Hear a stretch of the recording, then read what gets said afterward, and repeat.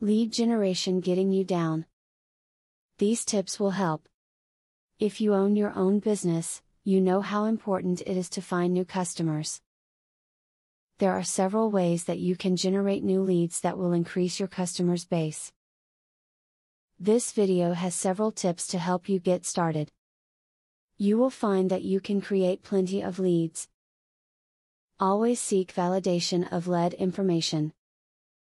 Verifying real time information for a lead is important. If you take the time to make sure that you have a good phone number, zip code, and or email, you can ensure that the lead you have is strong. Not doing so can waste a lot of your time. Know going in that lead generation is a time consuming and ongoing process. It's not a set it and forget it situation. You need to work at it. It takes building trust and thought leadership in the markets in which you sell. Be patient and work hard, and you'll really reap the rewards. Open up your business to the world. There are events such as Doors Open at which businesses allow customers to come in and see how they work. Even if you're an architect or real estate agent, you can let potential customers in to see how organized and authentic you really are, which can generate leads. Avoid overkill in your information gathering. Many leads will be happy to supply basic information. However, with each data field that your potential lead needs to fill, their desire to continue wanes. Gather the basics that will be necessary to qualify the lead without pushing for every bit of information you can gather.